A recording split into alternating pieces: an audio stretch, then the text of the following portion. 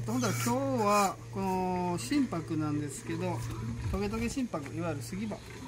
ういうやつ。いける？こういう風になったやつをどうしたら戻したらいいのっていうことを、えー、やっていこうかなと思います。まあもともとなんでこういう風になるかというと気が弱ってくるからあのー、元気なうちはこっちは心拍の歯なんだけどこういう風になるねんけど気が弱るとこう開きやすくなるね。例えば良くなるのが切りすぎた時たくさん切るとやっぱ気が弱っちゃうからそしたらこのこういう葉っぱがふわっと出やすい。であとはこれもそうやけど長い間植え替えもしてないし多分肥料も少なかったんちゃうかなと思うんだけどそういう状態でほっとくと気が弱ってくるからこういうふうになる。で逆に言ったらこういうのが出てきたらあ弱ってきたなっていうサインでもあるからその時に肥料を与えるなり植え替えしてもっぺん元気取り戻すなりしてあげると、まあ、ここまでひどくはならない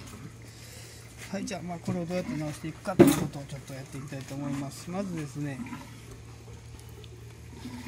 えーとどこからいこうかな。ここでいいかな。この葉っぱなんだけど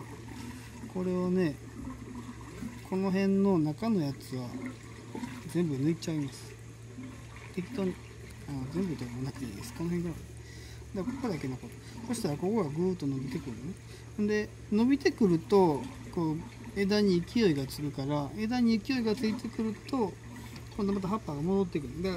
ら枝そのものの元気を取り戻してやれば心拍の葉っぱに戻ります。だからこの枝もこの辺とかはまだ弱いまんまだけどこれ上に行けば行くほどグッと伸びてきた時にこの辺ぐらいから元気が良くなって心拍戻ってるねでこの辺のはもう全部取っちゃうといい。ですここを取ることによって全部の力が先端に行っちゃうからそうするとねここがどんどんどんどんまた強くなってくるんだよ。だからやるともちろんこれがどんどんどんどん伸びてくるからここは葉っぱなくなるんやけど一旦それはもう、まあ、仕方がないっていうか、まあ、その部分を犠牲にしながら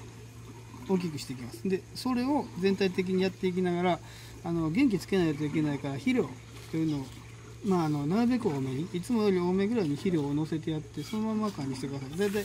6月ぐらいにこの作業をしたまあこれがそうねんけどこんな感じだね。あの先の方がちょっと元に戻ってきたかなとこれすごい状態だったんやけども戻ってきたかなって感じです。でこのままずっともうさらに1年間何もしないままでずっとほっとけばどうなるかっていうとこれが1年経ったやつかな。なのでとにかくほったらかしにしてるからすごい伸びてはきてるんだけどあの木に勢いつけてるから